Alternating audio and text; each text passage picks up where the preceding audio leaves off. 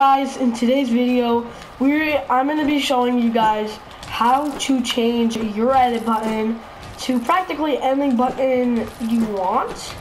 This is for playstation only uh, i'm going to come out with a part two in this and learn how to like do other uh like consoles and switch and keyboard on like how to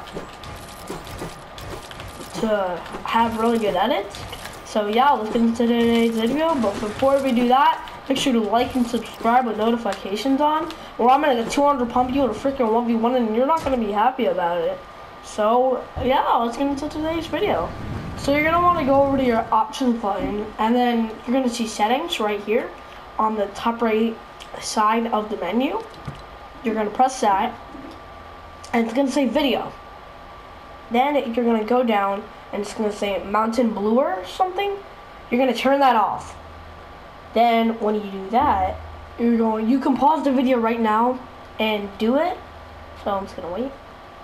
And then go over to game and then go down. And then you're gonna put on confirm edit on release. So it doesn't make your edits faster, but it does make it easier. So you're gonna wanna do that. And also, disable pre-edit option, turn that on. And then you're gonna go over here into HUD scale, well, G game UI. It's gonna say creative runtime stats. You're gonna turn that on, okay? Then you're gonna go over to controller options, and you can have vibration on or off. I would pick it, I would say turn vibration off. That's just my opinion.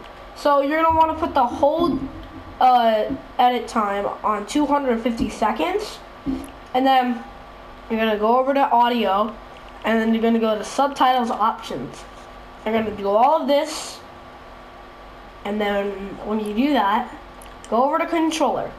You're gonna go on custom, and then do whatever editing button you want. I like X as my edit button, so you're gonna press the edit button you want, and then you're gonna go down as much as you can, and then when go down to the very bottom, and then you're gonna see push to talk. If you look a little above that, you'll see edit under reload and uh, um, on above repair. So you're gonna press that, and it's still gonna say jump, but that's just a little glitch, and it's gonna change soon. So if I were you to put the jump button, I would make it left stick or map and then you're gonna go over to edit controls. You're gonna make the select button R to select. You're probably like, aren't you supposed to put R1 as confirm? No, you're not. When you put it on confirm, it doesn't do anything. So you're gonna put it on select. Okay? When you do that, you can make a confirm L1, but I wouldn't do that. So I, I don't, I have no idea why I have that on. So yeah, that's all you need to do.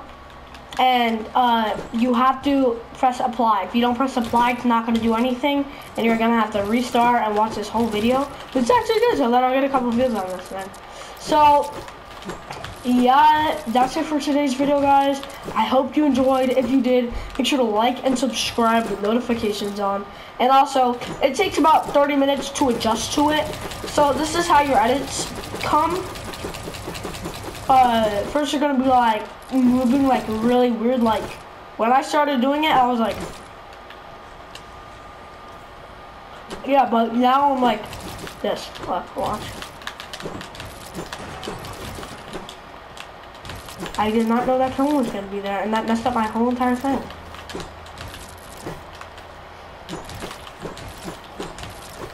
Yeah, so it actually helps a lot. I'm just, alright, hold on. Let me try to do this again.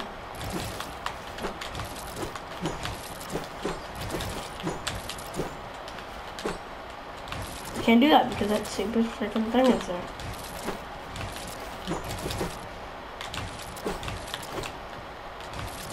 And that's it for today's video, guys. I hope you enjoyed. If you did, make sure to like and subscribe with notifications on. And peace out, baby.